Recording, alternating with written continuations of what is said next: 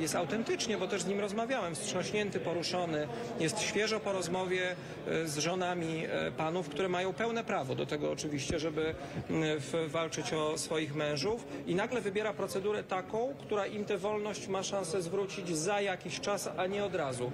Za tym musi stać albo jakiś, mówię, polityczny cynizm, a o to nie chce prezydenta oskarżać, albo jakieś bardzo silne argumenty prawne, których prezydent jednak jeszcze nam nie przedstawił. Więc czekam, być może za tym stoją jakieś argumenty prawne. Jest jakaś logika prawna, której, której my jeszcze nie znamy, bo na razie znamy tylko tę medialną wypowiedź m, pana prezydenta. Podtrzymanie paliwa Pytanie odpowiedzialności po prostu. Tego nie wiem, natomiast mówię, no w sytuacji, w której rozmawiamy z kimś, kto e, w, e, ja też rozmawiam z kimś, kto jest naprawdę szczerze poruszony losem ludzi, których uważa za swoich najbliższych przyjaciół. E, Są żony, są emocje, proszą o wolność dla swoich mężów. To jeżeli rzeczywiście chcesz, a wie, mówiłeś to wielokrotnie, żeby byli na wolności i masz w ręku klucz, który otwiera cele natychmiast i taki, który może, może otworzyć ją za pół roku, który klucz wybierasz? Dla mnie wybór jest e, oczywisty, jeżeli ja bym był na miejscu prezydenta. Nie wiem, nie wiem. Czekam na jakieś argumenty prawne, bo tylko one mogłyby mi przekonać mnie, pokazać nam, że to nie jest polityczna gra i że tu rzeczywiście chodzi y, tylko i wyłącznie o dobro panów Kamińskiego i Wąsika, bo ja się co do oceny ich czynów z panem prezydentem fundamentalnie nie zgadzam. Natomiast czyn taki jak podjęcie, wejście w procedurę ułaskawienia, aktu łaski, jest jednak y, no, pewną konsekwencją pana prezydenta, bo on zawsze mówił, y, że oni powinni być ułaskawieni, nie powinni być w więzieniu. Tylko dlaczego to zrobił tak? Nie wiem na dzisiaj, czekamy na jakieś prawne argumenty. Może po kolei, dobrze? To najpierw, przepraszam, dzisiaj się dowiedziałem przed chwilą, że to jest taka płaskorzeźba walka lewicy z prawicą, gdzie one biorą się za włosy e, nawet. E, Jednak historia Sejmu e, jest niezgłębionym źródłem wiedzy o współczesności parlamentarnej, ale też w, zachowajmy jakiś porządek. To lewica już po kolei, to może teraz pan redaktor, a później z tej strony z prawicy. Mówił pan dzisiaj, że dochodzą do pana informacje, że PiS będzie próbowało blokować obrady Sejmu, między innymi śpiewaniem hymnu. Jaki ma pan na to pomysł? Proszę pana, ja jestem świeżo po rozmowie z panem z Wszechnicy Sejmowej, bo nagrywaliśmy kolejny odcinek podcastu o Sejmie i dowiedziałem się, a nie wiedziałem, że na przykład ludowcy blokowali posiedzenia Sejmu przez nieustanne śpiewanie pieśni Cześć wam panowie magnaci e, w książętach hrabiowie prałaci e, i zagłuszali w ten sposób marszałka. Posłowie Lewicy w 21 roku przez 13 godzin przy pomocy gwizdków i ówczesnych wuwuzeli zagłuszali i robili obstrukcję na posiedzeniu Sejmu. E, W liberum veto wszyscy znamy, bo słyszymy je codziennie na sali sejmowej, kiedy krzyk sprzeciw jest podnoszony, niezależnie o jak błahą sprawę chodzi. A więc spodziewać się możemy wszystkiego, tylko że to wszystko już było. E, I dzisiaj, kiedy rozmawiamy o tym następnym posiedzeniu Sejmu e, z osobami, które tutaj w tym Sejmie pracują od lat 30 czy nawet więcej, myślę, że będziemy przygotowani na wszystkie warianty.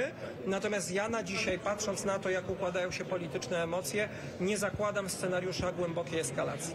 Wydaje mi się, jest niezagrożony, wydaje mi się też, że posłowie Prawa i Sprawiedliwości będą oczywiście próbowali jasno i wyraźnie dać wyraz e, temu, co myślą, co czują, ale że nie zostanie przekroczona granica, która w polskim Sejmie nigdy nie powinna zostać przekroczona, totalnej obstrukcji Izby, czy nie daj Boże fizycznej konfrontacji, do tego nie może A od dojść. kogo pan usłyszał o Kapitolu, o tym, że ma być polski Kapitol? A to ja słyszałem nie od jednego, ale od kilku osób z tamtej strony.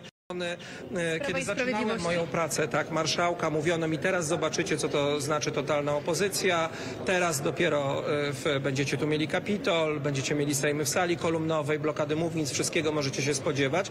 Rozumiem, że miało to na mnie wywrzeć wrażenie. To było w prywatnych rozmowach? Tak, było to w, znaczy w prywatnych. Marszałek Sejmu jak rozmawia z posłem, no to te rozmowy można powiedzieć mają status półprywatny.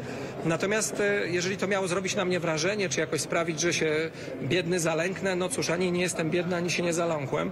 E, e, Więc rozumiem, że e, tak jak już Państwu przed chwilą powiedziałem, historycznie parlament jest takim miejscem, gdzie emocje się gotują m, i w bardzo różny sposób uchodzą. Natomiast Sejm jest nie od tego, żeby być oktagonem w, na galach MMA, tylko żeby dyskutować, nawet najbardziej twardy sposób, ale później głosować, konkludować i załatwiać sprawy, bo po to ludzie Sejm wybierają. Jakby mieli go wybierać do dyskusji, to by mogli równie dobrze wybrać telewizor. Tam dyskusji polityków jest aż nadto.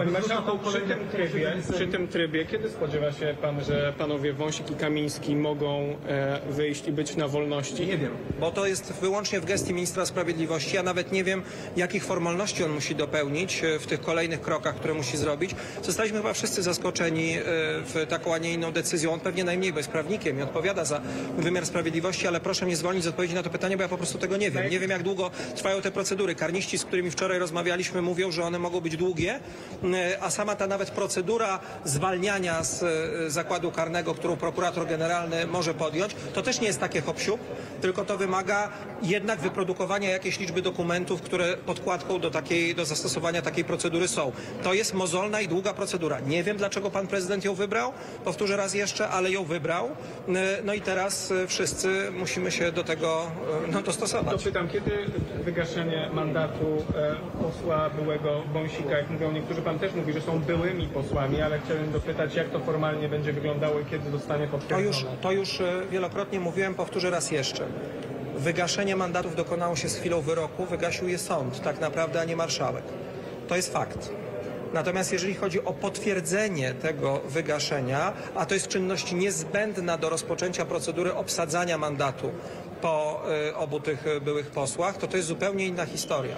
I o ile w, z potwierdzeniem, które wysłałem do Izby Pracy, a następnie wysłałem też oczywiście odwołanie, w e, pana Kamińskiego. Nie ma wątpliwości, ono zostało rozpatrzone.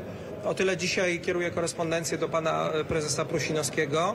Po pierwsze z prośbą o pytanie, co się dzieje z dokumentami, które zostały przesłane do Izby Pracy, bo ja do niej je skierowałem, do Sądu Najwyższego i chciałbym wiedzieć, co się stało, czy ktoś je ukradł, czy one są rozpatrywane, czy one leżą w szafie, czy będzie jakieś orzeczenie, bo ja muszę mieć wiedzę, zanim będę podejmował decyzję, co się stało z aktami urzędowymi i odwołaniami posłów, które, no ja, ja mogę napi- znaczy mógłbym kserować swoje postanowienia, ale nie będę kserował odwołań posłów, bo ja je miałem w jednym egzemplarzu, wysłałem, zginęło, rozumiem, z tej izby, do której wysłałem, muszę to mieć na piśmie, muszę to wiedzieć. A po drugie poproszę o uzasadnienie postanowienia Izby Pracy. Izba Kontroli Nadzwyczajnej nawet się nie pofatygowała, żeby e, wysłać nam cokolwiek poza jednozdaniowym orzeczeniem, natomiast no, Izbę Pracy poproszę e, o to, żeby e, jasno to powiedziała. W związku z powyższym, nie mając wątpliwości w sprawie pana byłego posła Kamińskiego, tę procedurę uruchomiłem.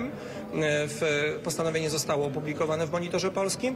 Natomiast e, z opublikowaniem postanowienia w sprawie pana posła Wąsika, obsadzenia mandatu po nim, e, wstrzymuję się do momentu, kiedy zakończy się ten chaos w Sądzie Najwyższym, a ja będę stał, miał niewątpliwe, niewzruszalne podstawy prawne, żeby iść dalej. A więc stan prawny mamy taki, że mandat po pośle Kamińskim będzie obsadzany, a mandat po pośle Wojsiku wygasł. Natomiast, żeby uruchomić procedurę obsadzania go, ja muszę mieć bardzo jasną sytuację i bardzo jasny, niesprzeczny komunikat Sądu Najwyższego. To już nie jest moja wina. W tej chwili piłeczka jest po stronie Sądu Najwyższego, w którym dzieją się rzeczy, które nigdy nie powinny w mojej ocenie e, mieć miejsca. To już nie jest rzecz marszałka Sejmu. Zaczął pan pan rozpytywać na przykład posłankę Pawłowską, która jest kolejna na liście? Czy się zdecydowała Wie pan, e, to się odbywa w bardzo formalnym rytmie. Ja już przeszedłem tę procedurę, odkąd zostałem marszałkiem, chyba kilkanaście razy, nie wiem, 12 czy 13 trzeba by było sprawdzić.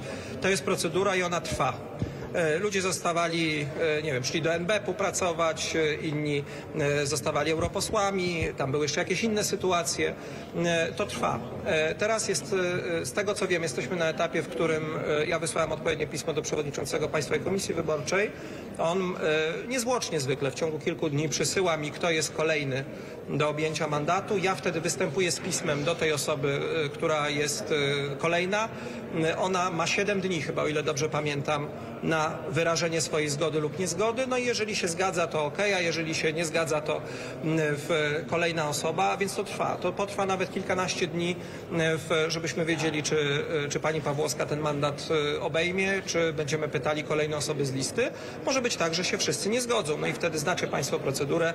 Na końcu tej listy marszałek wydaje postanowienie, że mandat do końca kadencji pozostaje nieobsadzony. Panie marszałku, ma Pani informację, czy poseł Braun ma pozwolenie na broń? Chodzi oczywiście o ten alert Straży Marszałkowskiej. E, Sprawa jest z mojego punktu widzenia e, jasna. E, Po tym wydarzeniu, które miało miejsce tutaj haniebnym w związku z Hanuką, w, otrzymałem informację od Straży Marszałkowskiej, że nie za mojej kadencji, tylko wcześniej, pan poseł Braun pytał Straż Marszałkowską o to, czy można deponować, czy poseł może deponować broń w Sejmie osobistą. Jeżeli mamy do czynienia z sytuacją, w której wiemy, że poseł nie przechodzi kontroli pirotechnicznej wchodząc do budynku, e, no to zapaliło mi się w głowie czerwone światło i po takiej sytuacji wysłałem pismo do odnośnego komendanta e, dzielnicowego, w tym przypadku chyba policji, e, czy rejonowego. E, Mógłbym to oczywiście sprawdzić, jeśli Państwo chcą, z informacją o tym, że taki akt w Sejmie miał miejsce, e, że mamy podejrzenia czy przypuszczenia, że e, pan poseł może mieć pozwolenie na broń i że oczekujemy w tej sytuacji weryfikacji podstaw wydania tego pozwolenia. E, to, e, to, jest, no to jest rzecz, którą robimy z ostrożności, no ale ja w ogóle generalnie chciałbym mieć takie poczucie, że posłowie broni jednak na teren Sejmu nie wnoszą. Tutaj można walczyć słowem, tutaj nie można czuć się zagrożonym, bo jest wyspecjalizowana formacja Straż Marszałkowska, która naszego bezpieczeństwa ma chronić. Nie ma potrzeby, żeby posłowie wnosili tutaj broń, więc tak to wygląda. No, mamy też, jak wiecie, wniosek, o, już przekazałem go do komisji w sprawie uchylenia immunitetu pana posła Brauna, więc nie wykluczam, że na tym posiedzeniu będziemy go głosować. Czyli rozumiem, że ma pozwolenie na Przepraszam? tak? Dobrze rozumiem, ma pozwolenie. E, Ja nie ustaliłem tego, czy on ma pozwolenie. Ja wiem, że on e, w, e, pytał o to. W związku z powyższym ostrożnościowo wysłałem pismo do komendanta policji, bo to on jest. Jeszcze nie ma odpowiedzi. Nie tak? uzyskałem jeszcze odpowiedzi, ale rozumiem, że te służby, które powinny być poinformowane, są i poinformowane. To jest też, słuchajcie, żeby była jasność, to, to jest dmuchanie na zimne, tak? No to nie jest żaden sygnał, który tutaj się pojawia, ale ostrożnościowo uznałem, że warto to zrobić, bo, bo nie chcielibyśmy mieć jakby choćby cienia wątpliwości co do naszego bezpieczeństwa tutaj. Najbliższe posiedzenie bez względu na wszystko się odbędzie. Tak, bez względu na wszystko się odbędzie. Głosujemy budżet. Ono ma zresztą też i ustawę okołobudżetową, jest ustawa o szkolnictwie wyższym zaplanowana, którą musimy szybko przeprocedować. Są rzeczy takie jak wotum nieufności wobec ministra Sienkiewicza, głosowanie e, immunitetu posła Brauna. Mam nadzieję, że uda nam się też e, powołać. Oby uchwalić. Nie wiem, czy powołać skład, ale chciałbym to zrobić, bo mamy czas. E, Komisji do spraw Pegasusa e, śledczej, żebyśmy w przyszłym tygodniu mieli to zamknięte. No i przegłosowane też wszystkie poprawki do budżetu, tak żebyśmy mogli szybko wysłać go do Senatu. Z Senatem na dalszy ciąg pracy jesteśmy umówieni, a więc terminy nie są, nie są zagrożone. A jak pan ocenia, słowa prezydenta, że Kamiński i Wąsik są ludźmi krystalicznymi? To jest ocena pana prezydenta, do której ma prawo. Ja jej nie podzielam. E, W, zawsze przy takich sytuacjach, kiedy padają tak mocne określenia, warto też patrzeć na kontekst. E, To znaczy, jak czują się dzisiaj ludzie, e, którzy w, no chcą, żeby w państwie też było elementarne poczucie sprawiedliwości, żeby o tym, kto siedzi w więzieniu i kto ma wykonany wyrok, a kto nie, nie decydowała znajomość z kimś wysoko na politycznym świeczniku i jego wewnętrzne przekonanie.